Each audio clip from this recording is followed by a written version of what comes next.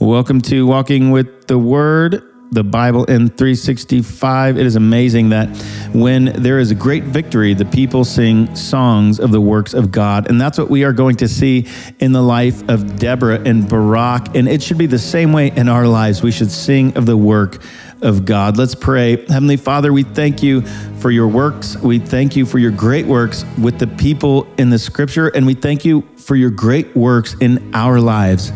Lord, we sing your praises all the day long. We love you, Lord Jesus, and we praise your name, Jesus. Amen. Today we are reading Judges 5 and 6 in Psalm 121. Then sang Deborah and Barak, the son of Abinoam, on that day that the leaders took the lead in Israel, that the people offered themselves willingly, bless the Lord. Hear, O kings, give ear, O princes, to the Lord I will sing. I will make melody to the Lord, the God of Israel.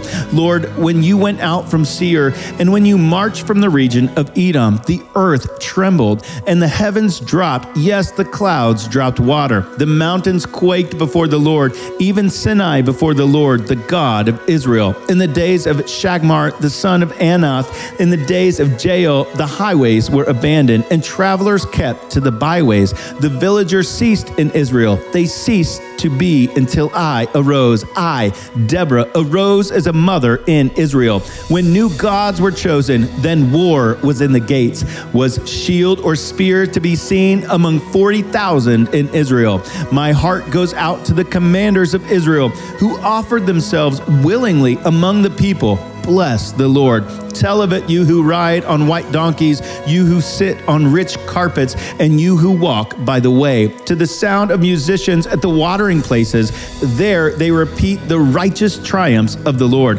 the righteous triumphs of his villagers in Israel. Then down to the gates march the people of the Lord. Awake, awake, Deborah. Awake, awake. Break out in song. Arise, Barak. Lead away your captives, O son of Abinoam. Then down marched the remnant of the noble. The people of the Lord marched down for me against the mighty. From Ephraim, their route they marched down into the valley, following you, Benjamin, with your kinsmen. From Machir marched down the commanders, and from Zebulun those who bear the lieutenant's staff. The princes of Issachar came down with Deborah, and Issachar faithful to Barak. Into the valleys they rushed at his heels among the clans of Reuben. There were great searchings of the heart. Why did you sit still among the sheepfolds to hear the whistling for the flocks among the clans of Reuben. There were great searchings of heart. Gilead stayed beyond the Jordan, and Dan, why did he stay with the ships? Asher sat still at the coast of the sea, staying by his landings. Zebulun is a people who risked their lives to the death. Naphtali too on the heights of the field. The kings came, they fought. Then fought the kings of Canaan at Taanach by the waters of Megiddo. They got no spoils of silver. From heaven, the stars fought. From their courses, they fought against Sisera. The torrent Kishon swept them away. An ancient torrent, the torrent Kishon. March on, my soul, with might. Then loud beat the horses' hooves with the galloping, galloping of his steeds. Curse Meroz, says the angel of the Lord. Curse its inhabitants thoroughly, because they did not come to the help of the Lord, to the help of the Lord against the mighty. Most blessed of women be Jael, the wife of Heber, the Kenite, of tent dwelling women. Most blessed. He asked for water, and she gave him milk. She brought him curds in a noble's bowl. She sent her hand to the tent peg, and her right hand to the workman's mallet. She struck Sisera. She cursed his head. She shattered and pierced his temple. Between her feet, he sank, he fell, he lay still. Between her feet, he sank, he fell. Where he sank, there he fell dead. Out of the window she peered. The mother of Sisera wailed through the lattice. Why is his chariot so long in coming? Why tarry the hoofbeat of his chariots? Her wisest princesses answer. Indeed, she answers herself. Have they not found and divided the spoil? A womb or two for every man. Spoil of dyed materials for Sisera. Spoil of dyed materials embroidered two pieces of dyed work embroidered for the neck as spoil. So may all your enemies perish, O Lord, but your friends be like the sun as he rises in his might. and the land had rest for 40 years. Judges 6. The people of Israel did what was evil in the sight of the Lord, and the Lord gave them into the hand of Midian seven years. And the hand of Midian overpowered Israel, and because of Midian, the people of Israel made for themselves the dens that are in the mountains and the caves and the strongholds. For whenever the Israelites planted crops, the Midianites and the Amalekites and the people of the east would come up against them. They would encamp against them and devour the produce of the land as far as Gaza, and leave no sustenance in Israel, and no sheep or ox or donkey. For they would come up with their livestock and their tents. They would come like locusts in number. Both they and their camels could not be counted, so that they laid waste in the land as they came in and Israel was brought very low because of Midian. And the people of Israel cried out for help to the Lord.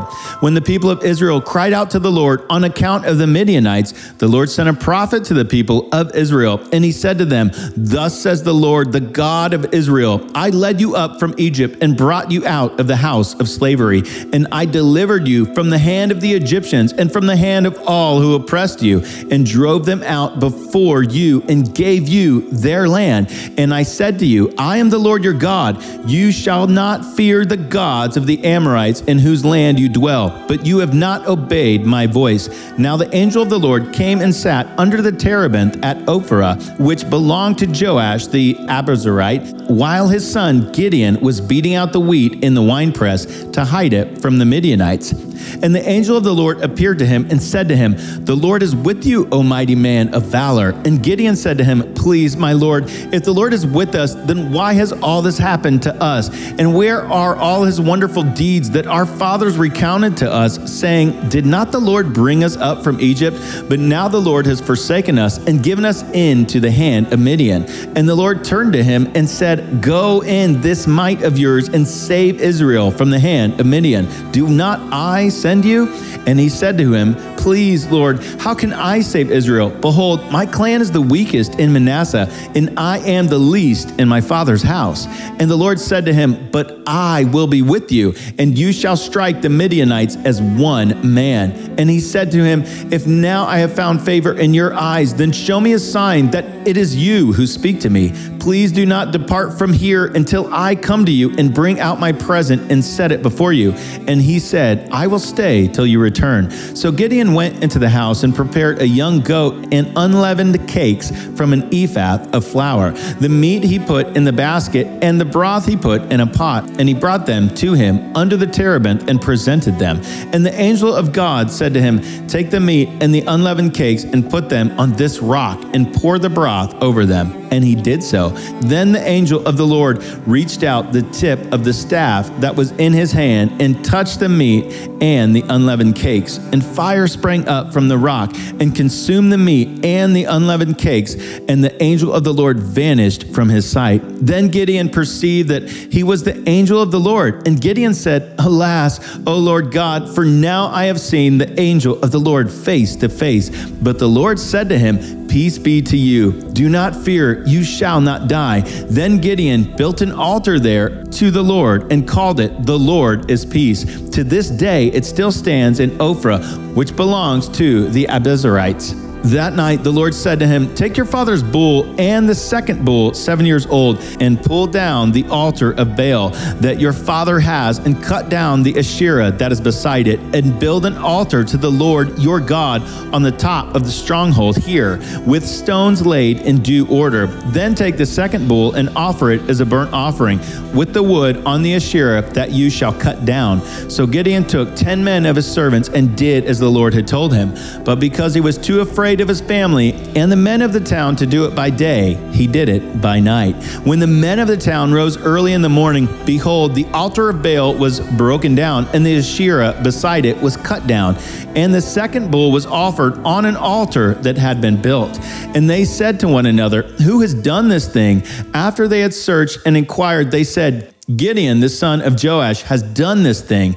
Then the men of the town said to Joash, Bring out your son, that he may die, for he has broken down the altar of Baal and cut down the Asherah beside it. But Joash said to all who stood against him, Will you contend for Baal, or will you save him? Whoever contends for him shall be put to death by morning. If he has a God, then let him contend for himself, because his altar has been broken down. Therefore, on that day, Gideon was called Jerubbaal. That is to say, let Baal contend against him, because he has broken down his altar. Now, all the Midianites and the Amalekites and the people of the east came together, and they crossed the Jordan and encamped in the valley of Jezreel. But the Spirit of the Lord clothed Gideon, and he sounded the trumpet, and the Abiezrites were called out to follow him. And he sent messengers throughout all Manasseh, and they too were called out to follow him. And he sent messengers to Asher, Zebulun, and Naphtali, and they went up to meet him. Then Gideon said to God, If you will save Israel by my hand, as you have said, behold, I am laying a fleece in the wool on the threshing floor. If there is dew on the fleece alone, and it is dry on the ground all around, then I shall know that you will save Israel by my hand, as you have said.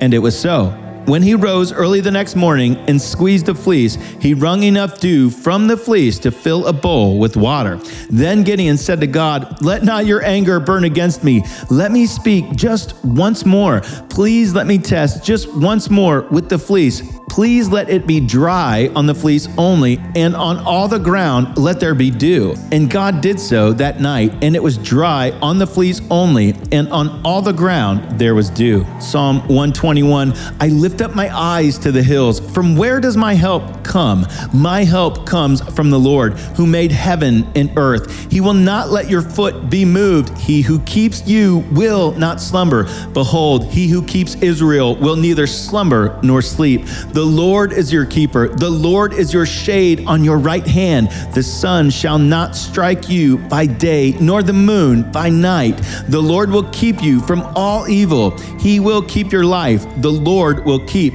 your going out and your coming in from this time and forevermore.